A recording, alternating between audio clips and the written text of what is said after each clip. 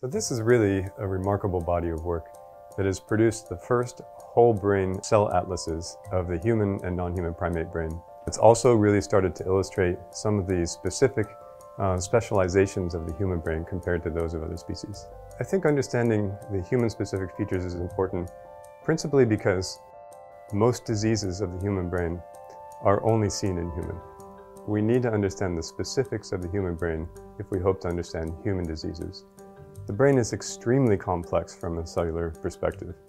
Um, and this is really the first description of just how complex it is. Uh, we define over 3,000 kinds of cells in the adult human brain. And this is not comprehensive. This is a first draft version of this. And furthermore, where that complexity is, is somewhat unexpected. Um, much of the research in the field focuses on the neocortex, the outer shell of the cortex as being responsible for our higher cognitive functions this must be where the complexity is. Well, that turns out not to be true. It turns out that much of the complexity is actually in deeper, older evolutionary structures. And so we haven't had access to understanding that complexity.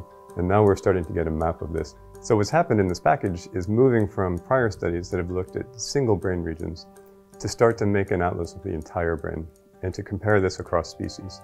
So I think a, a really key thing to highlight is that this work has been dramatically accelerated through the support of the NIH Brain Initiative.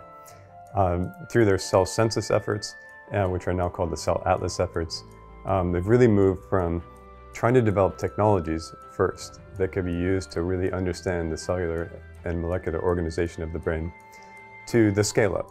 Something that really enabled this is a, a very parallel uh, set of work between the mouse and big, larger, more complex brains where the mouse presents a tractable model system where these methods can be developed and very quickly then transition to work in other places with, with some technological tweaks. Um, so these two things sort of working in parallel have allowed us to move from methods to model systems to human uh, very quickly. That's now enabled actually the next phase. Uh, the next phase, this is really moving into very comprehensive coverage of the human and non-human primate brain. And this next phase, I think, really is akin to the Human Genome Project. You know, we're trying to get a comprehensive characterization of the basic components of the nervous system.